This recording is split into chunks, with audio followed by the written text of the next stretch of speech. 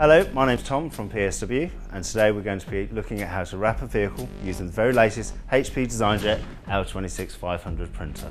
On the way through we're going to be having a closer look at some new and improved software, Onyx 10.1.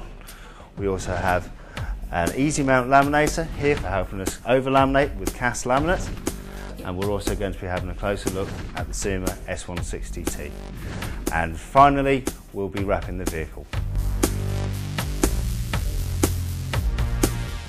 So this is the software we've been using to build the van wrap and the plugin that we're using today uh, from Onyx is the vehicle wrap plugin. You drag the tool and you let go. The width of the tiles matches the width of the media you have in your wide format inkjet printer. Importantly, you can split a tile vertically and therefore take this area away and, and not have to print it and you can save media. So now we're only going to use this tile and all these other tiles here. Once you're happy with your outline, there's a button just down here that says create the wrap doc. And now you can go create the wrap document and you will then see that you have a number of documents ready to go.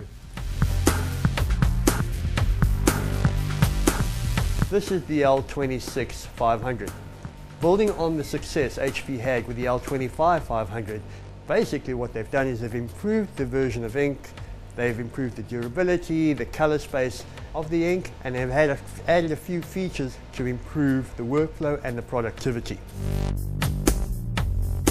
One of the big advantages of latex ink is the ability to print onto a wide range of medias.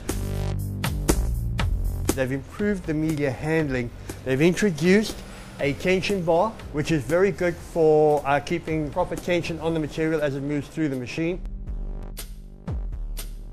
One of the advantages of latex technology is that when it comes out of the printer, it is dry, it is cured, and we can take it straight away to the laminator. This is the Easy Mount 1600 single hot. As you can see, we're running this cold at the moment. With this type of media, that's the best way of running it for vehicle wraps. We're laminating the print, all 40 metres in one go, and then it'll be ready to take off there for the uh, wrapping of the vehicle.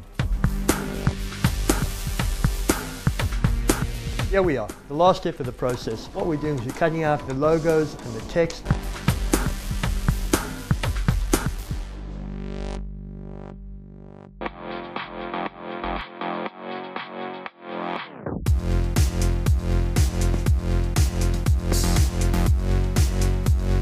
We've now got the van down to Bromsgrove, Signs Express, where we're now wrapping Art Systems van.